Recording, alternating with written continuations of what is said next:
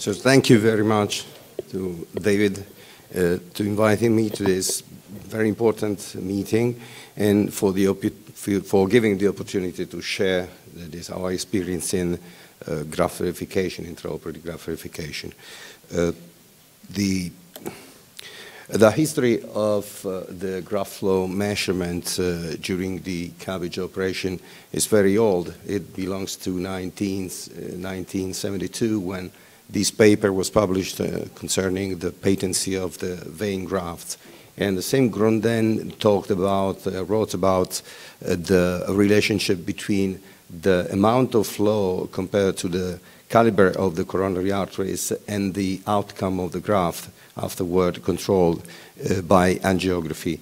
And uh, there was clear that for the smallest uh, coronary arteries, there was a very high probability of uh, closure uh, if the flow was below 48 millimeter per minute, measured by the electromagnetic flow meter.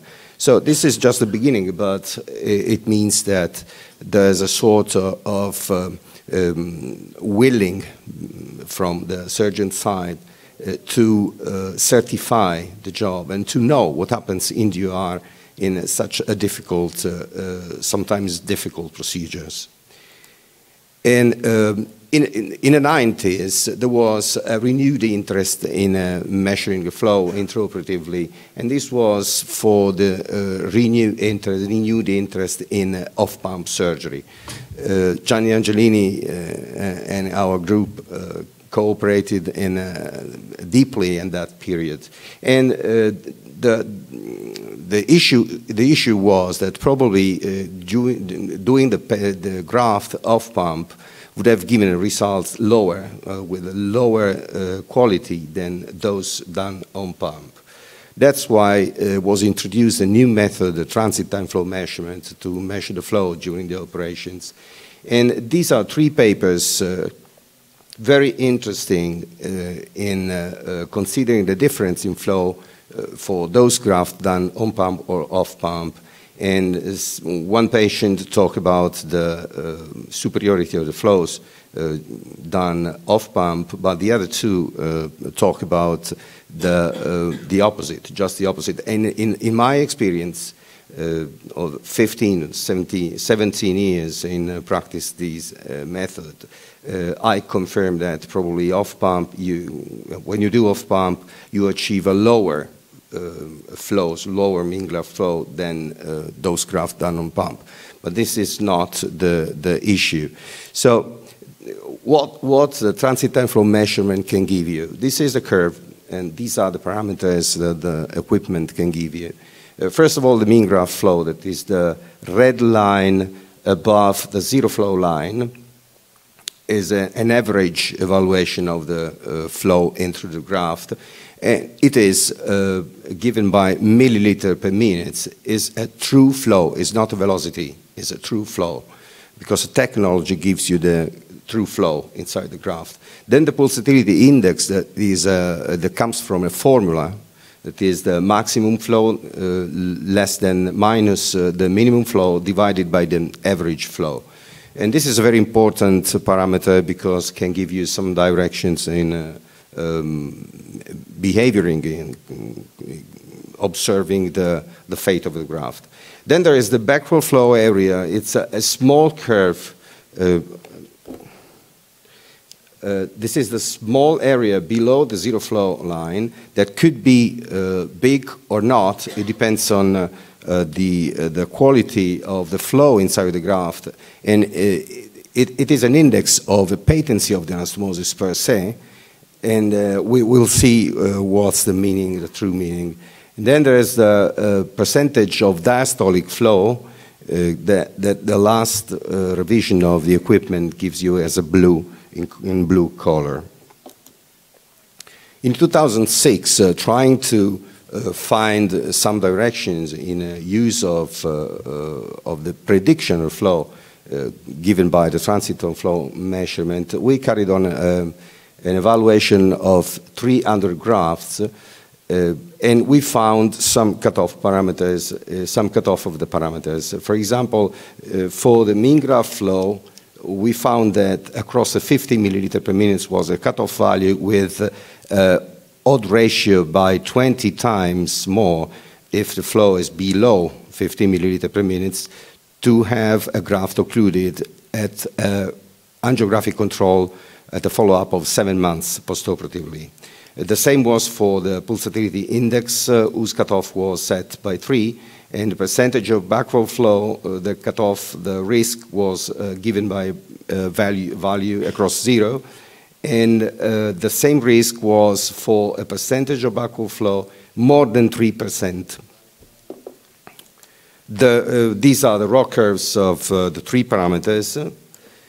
And looking at the literature, we found that uh, there are different values of these, mean, these parameters across all the geographical areas that, that is probably explained by the difference in uh, the size of coronary arteries and um, the cutoff uh, values uh, given by Teresa Kieser in a paper that was included in, a, uh, in the, the, 2010 guidelines on myocardial revascularization are those uh, limit, limits, uh, those cutoffs given by the company who is producing the equipment.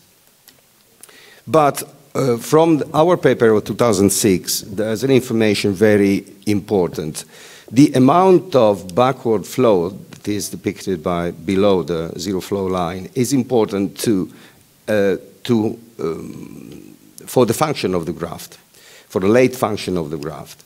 Uh, we can have two kinds of uh, information about the flow curve. If the backward flow, as I stated before, is across zero, and the flow curve, the, the mean graft flow is low, and the PI could be high, and this is an, a sign of anatomical occlusion at the site of the anastomosis. But in case we have a backward flow very high, the PI becomes very, very high, and this could be defined as a functional occlusion of the, of the graft.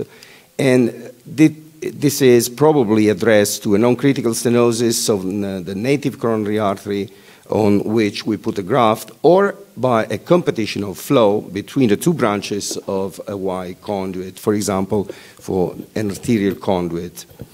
Uh, and this probably is one of the issues that could be discussed uh, in, in putting in all the patients uh, the indication to do uh, the total arterial revascularization using both mammaries.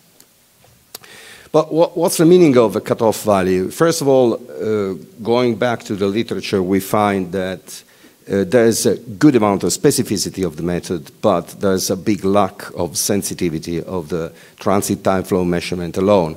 And the value of the cutoff uh, of the parameters, uh, statistically speaking, uh, recalls a blind area across uh, the same value. So that means that you have a, a wide area of uncertain prediction of the fate of the graft. So I mean that 50 milliliters or 20 milliliters is not a border, a fixed border. Uh, I mean that if it is 19, the, the, the, graft is patent. If it is, not patent, or if it is 21, the graft is patent. There is an unpredictable area of the patency of the graft. This is why the diagnostic accuracy of the, the method per se alone is not so high. So what can we do to increase the diagnostic accuracy of the procedure? Uh, starting from 2009, uh, we, start, we started to uh, use uh, um, the imaging, including in the same equipment, uh, in union with the transit time flow measurement in order to increase uh, the diagnosis of the uh, failing anastomosis. And we published this paper in which we submitted to the analysis retrospectively 700 grafts. Uh, on, on, the right, you have the uh, flow chart uh, of our paper. And using this method, this um, combined methods, uh, function and imaging, we were able to, uh, to achieve a quite uh, total, complete diagnostic accuracy, as you can see in a table uh, below the slide. And this is our proposed flow chart to, uh, to control intraoperatively, to verify the grafts.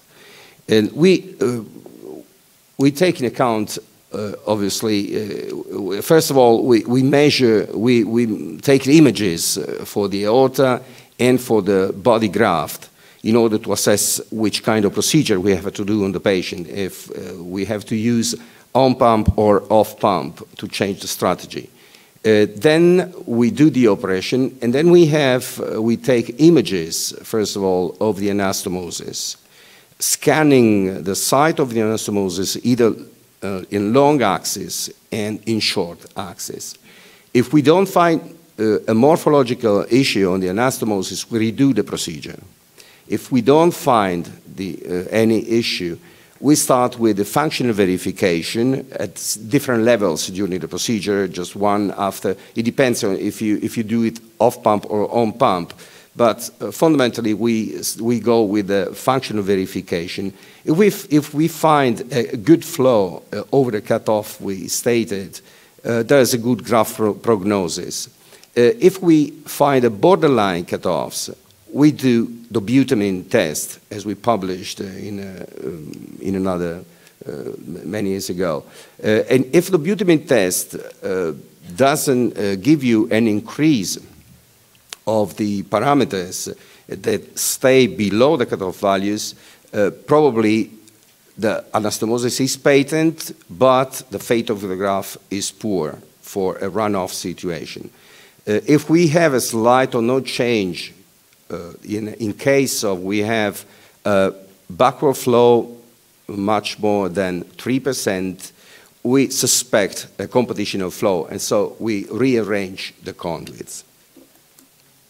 And these are uh, some uh, videos taken from our procedure. This is the uh, left internal mammary artery controlled. This is my finger.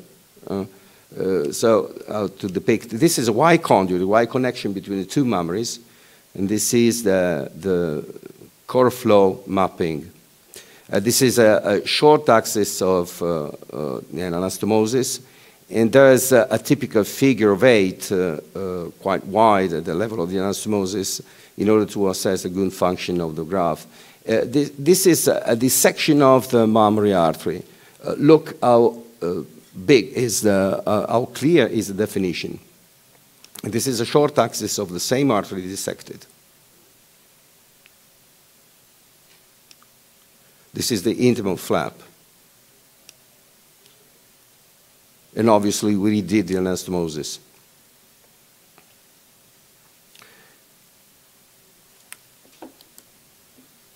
Uh, we, we, can, we can use the um, imaging to select the site of distal anastomosis. And this is a case in which we uh, confirm the diagnosis of a severe stenosis in uh, the LAD. Then we choose another site to do the anastomosis. We, we, we can have the, the chance to measure the, in the internal lumen of the coronary arteries. And this is the anastomosis at the end of the procedure.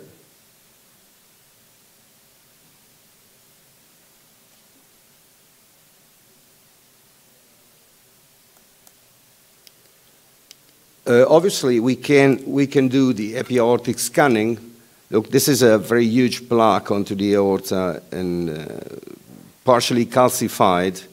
And with a color flow, it's possible to uh, de depict the, the internal surface of the, of the artery. And then we had the chance to measure the, the width of the plaque, and we changed the procedure and this is a case in which in aortic dissection we cannulated with the, with the aid of this procedure, we cannulated a true lumen as a central cannulation. And we use a procedure either to, uh, to look for a diagnosis of coronary stenosis in cases were not submitted to coronary angiography before the operation. And this is what we, what, what we found in, uh, in a case of uh, a severe uh, aortic valve endocarditis in which a cardiologist wouldn't have the, the coronary angiography before.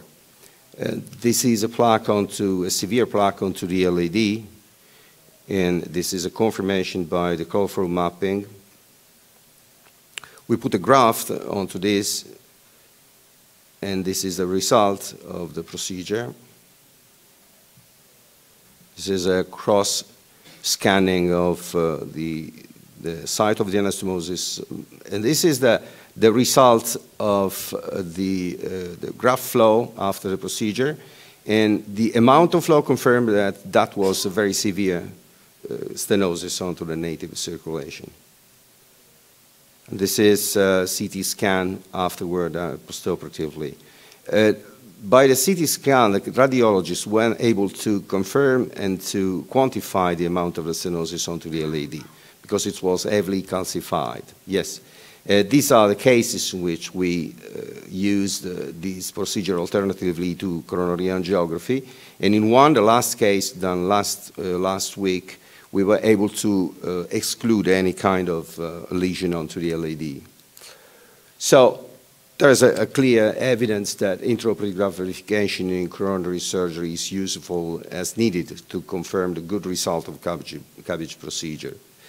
Uh, the, uh, the aid of imaging is advantageous to achieve an almost complete diagnostic accuracy and to obtain very important information in modifying the strategy uh, with the aortic scan. Uh, even if transit time from, from measurement shows a low sensitivity, once the anastomosis patency has been confirmed by imaging, its role remains crucial in predicting the fate of the graft. Thank you.